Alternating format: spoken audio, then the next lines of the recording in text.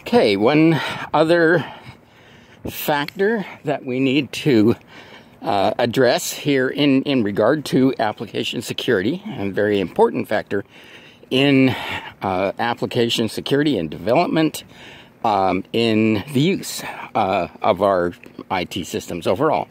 Um, only marginally related to malware.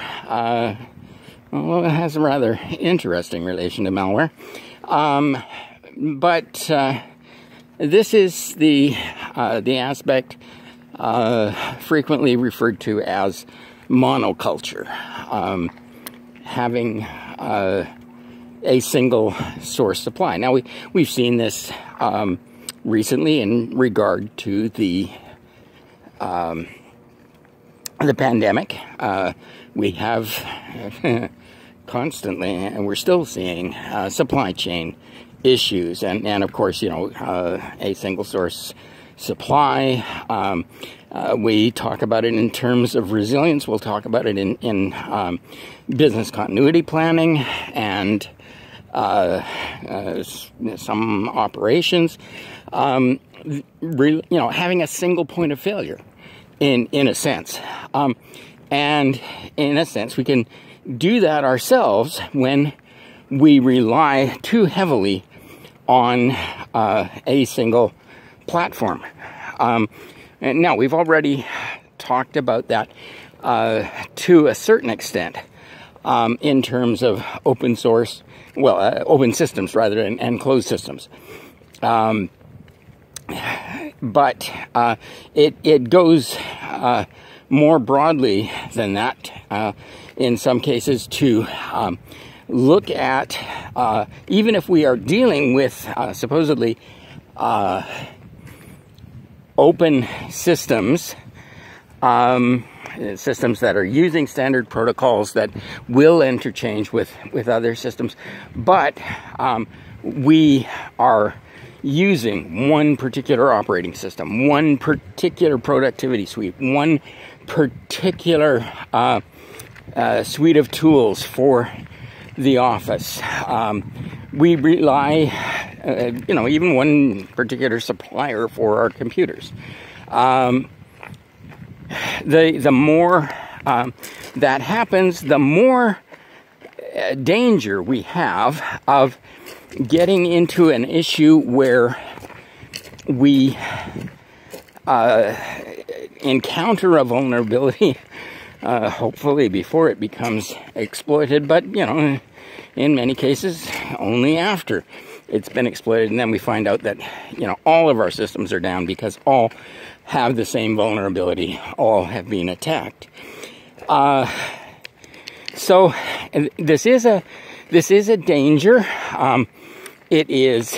Uh, it is a danger that we don't see as a security danger very often. We see it as a business advantage, a, a cost saving. Um, uh, if we go single source contract, if we uh, buy all of whatever from one particular vendor, um, we only have to have one uh, set of uh, assistance, only one uh, set of uh, problems, uh, only one um, set of uh, issues with regard to technical support. you know, it's it's it simplifies things, and it under certain contracts. Um, if we go single source, it's even a cost savings because the vendor is willing to give us a, uh, a discount if we agree to buy everything from them. So, um, yeah, it is an issue of uh, security that gets hidden because um, oh well that's that's you know it's not really an issue of security it's uh, just you know business common sense uh, cost savings etc etc etc but uh, well we've seen all kinds of examples of uh, uh, well, Windows more particularly, uh, mostly simply because uh, Windows, Microsoft Windows, is is the uh, most uh, widely used, and and so it's the one where the vulnerabilities get found, and it's most widely exploited. Um, and and we'll have issues where people have found uh, an exploit, use it, and it you know wipes out uh, huge numbers of systems around the world sometimes. Um, so we've got to you know ensure that we protect ourselves from that kind of thing. But it it goes uh, beyond the uh, the operating system. I mean, uh, again, Microsoft Office. Um, everybody uses Microsoft Office.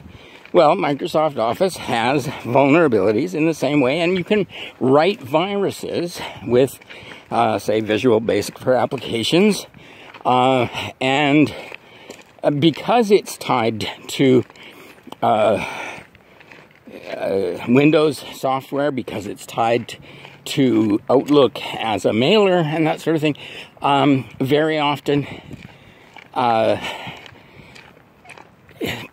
worms, uh, you know, or, or at least, you know, reproductive software with minimal uh, user interaction um, can be created. And um, it's easier, as we've seen in a number of instances, to have that happen.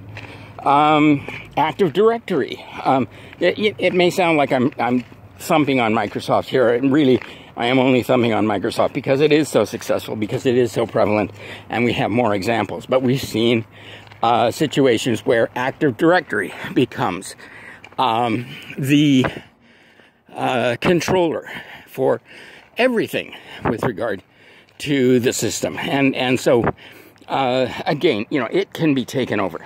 Um, whatever functionality there is in uh, in common here that uh, can be used, can be uh, said to be uh, a uh, you know common to everything that we're doing. Um, it can be taken over and uh, you know, Microsoft Office uh, macros, ActiveX, um, active content, uh, you know, all of these aspects um, will,